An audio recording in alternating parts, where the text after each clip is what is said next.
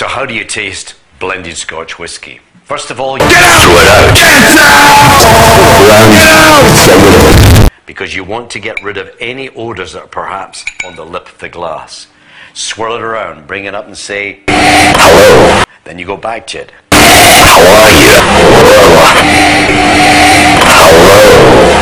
Hello. Then you go back to it and say, How are you? Do it slowly. To make sure that you're actually examining every part of that. Putting them out.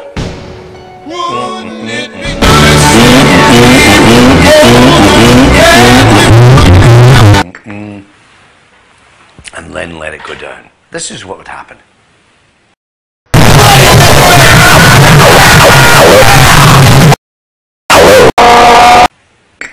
Your face would start grimacing. It would start changing.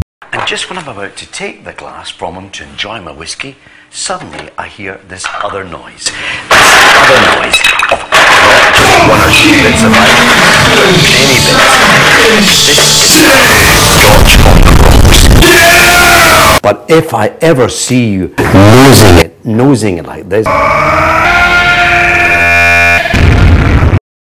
I'll kill you